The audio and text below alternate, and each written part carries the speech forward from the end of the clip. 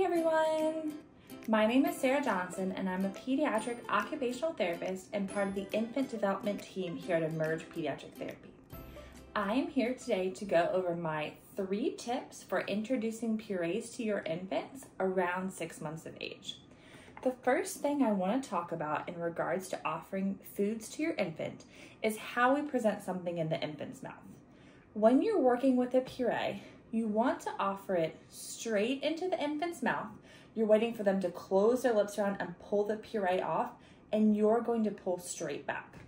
A lot of times, what we tend to see is parents pulling up. And the reason why we don't want to do this is when you're pulling up, you're stopping the lip from activating and pulling the puree off. So, what we want to see is the spoon to go in, the lips to go around to pull it off and the spoon to go straight back. So that is one of the biggest things I talk about with my parents is you're presenting it to the infant, you're waiting for them to open and close their mouth around, they're going to pull and you're going to go straight backwards.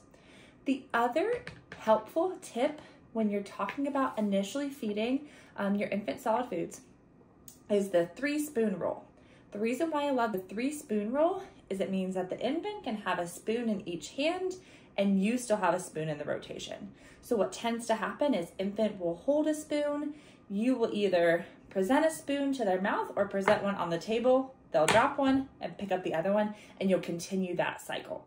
That helps with the infant feeling independent and involved and able to work on bringing things to their mouth themselves, but also gives you the opportunity to offer some bites to work on the oral motor skill acquisition.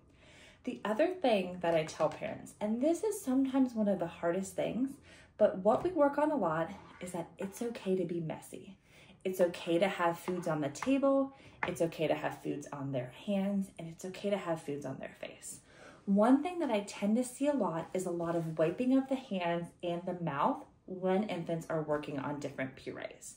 The reason why we want to be careful with this is if you're wiping their face after every single bite, that can sometimes be 20 or 30 times that you're wiping their face during a meal. And that can be very uncomfortable and can sometimes cause a tactile or an oral aversion. When we're working on foods, the best thing to do is put the towel to the side until the end and let infants' hands and face get messy. If you have a little bit of difficulty with having purees on your hands, what I recommend is having a towel on your lap under the ridge of the table that you can wipe your hands as you go. But the more that you can engage with your infants and embrace the mess, the more you're going to work with all of their different senses for the development of feeding, and the more it will benefit them long term when we're looking at the exploration of different textures. Hopefully, these three tips are helpful in regards to starting purees with your infant. If you have any questions regarding your infant's development or feeding, please feel free to reach out and we'd be more than happy to help. Thanks so much.